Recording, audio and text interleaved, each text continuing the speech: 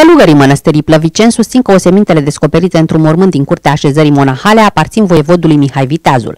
La împlinirea 100 de ani de la făurirea României Mari, ei vor ca printr-o ceremonie specială să reunească după patru secole la moșia domnitorului din satul Plăviceni capul și trupul domnitorului. Uh, e un moment istoric, e un moment pe care ni-l dorim cu toții, așa cum îi stă bine unui mare domnitor și unei asemenea personalități istorice, cum a fost și europene, cum a fost Mihai Viteazu, uh, și mi-aș dori în viitor capul și trupul lui Mihai Viteazu să fie împreună permanent.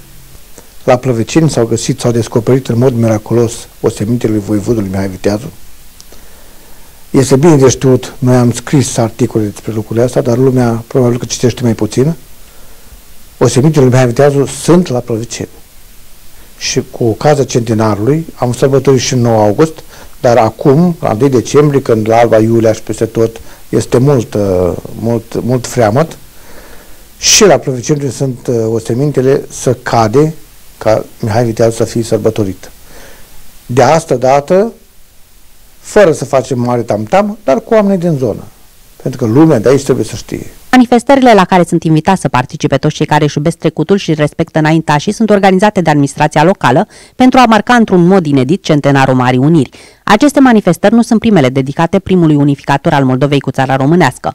Rolul important jucat de voievodul Mihai Viteazu în istoria poporului român este marcat prin acțiuni diverse în fiecare an, pe 19 august, zi în care domnitorul a fost ucis.